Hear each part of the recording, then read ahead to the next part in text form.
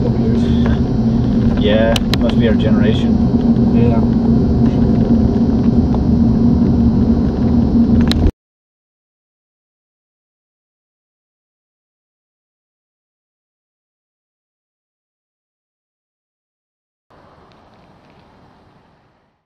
In a world where there is so much around us, so much to see and experience, it is sad how many people miss it.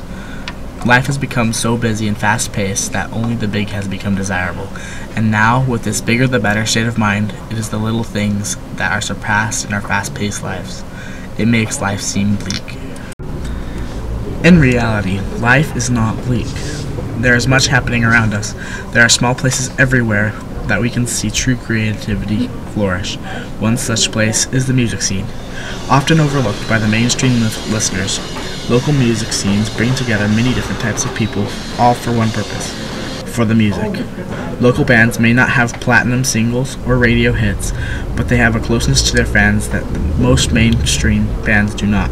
When people gather together to see their favorite local band, whether it be a rock, metal, indie, pop, punk, or acoustic performance, people from almost every stage of life can find enjoyment in local shows. And when the band start playing, the connection with fans is unmistakably strong and genuine.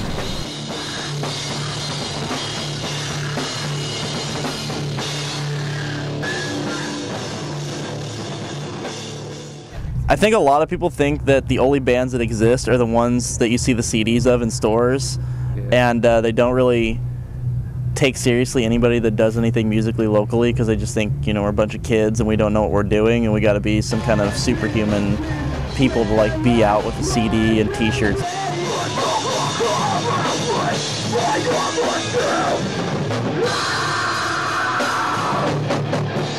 Underground bands come out of the garages, they come out of the sheds, they come out of the gar- back gar- backyards.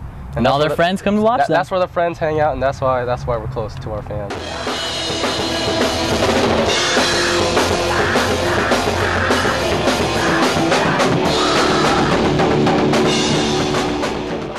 Our band, you know, we're, we're coming up. You know, I mean, we still have a lot to learn. We have a lot to progress in, but I think we're coming. You know, we're,